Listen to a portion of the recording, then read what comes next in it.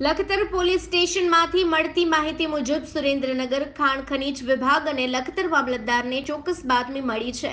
કે લખતર વિરમગામ હાઈવે પર pass permit વગરના ઓવરલોડ ડમ્પરની અવરજવર વધી છે.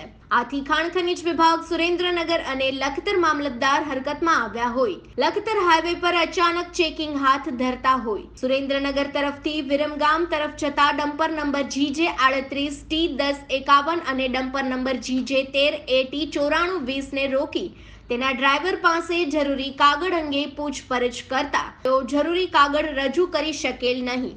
આથી પાસ પરમિટ વગરના ઓવરલોડ બંને ડમ્પર લખતર પોલીસ સ્ટેશનમાં લાવી સીઝ કરી આગળની કાર્યવાહી કરવા સોંપતા.